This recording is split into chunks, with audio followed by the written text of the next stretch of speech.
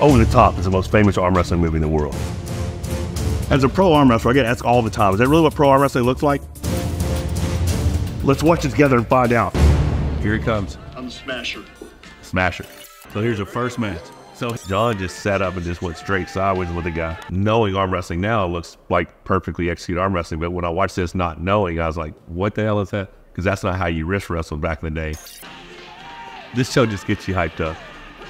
Now that's funny. This is a right-handed tournament, of course, right? Every match is supposed to be right-handed. But you see the, the guy from Canada set up one match left-handed. They so you're gonna put up left-handed because I'm assuming in the event they must have right and left-handed competitions. But throwing a left-hand setup into a right-handed only tournament is kind of uh, kind of funny. It's like when you watch a western and you see the the airplane. Makes it dramatic though. Lincoln gets more hand control, dives in with a press. So here's what we got. These are finalists, supposedly. So Bull Hurley's undefeated in five years. He's one of the first finalists. So two-time Canadian cha- champion Carl Adams. There's John Brzezinski slapping him in the face. That's a good moment.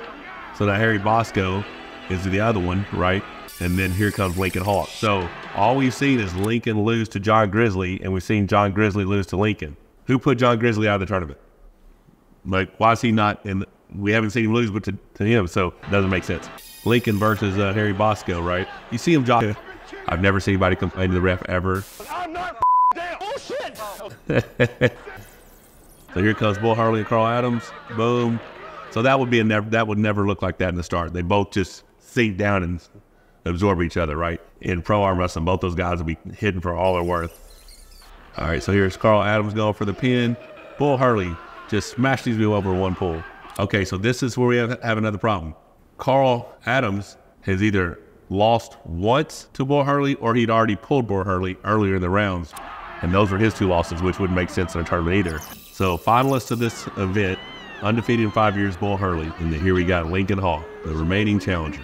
Bull Hurley was the one that was denying the grip by letting go, right? So there is such a thing called an intentional slip, and that's if you just give your ball up your hand, your opponent your thumb, you open your hand like this and you slip, or if you push straight through the hand. Now, it looked like that's how it was going with Bull. Like he would have been the one called, but then when you show the next position, the hands, they're both kind of like going outside, and so no one was at fault. Automatically going to the strap. Now, this strap that you see, it's a leather, like at least eight and a half, right? Like I know it's kind of a corny movie for some people, but I really do.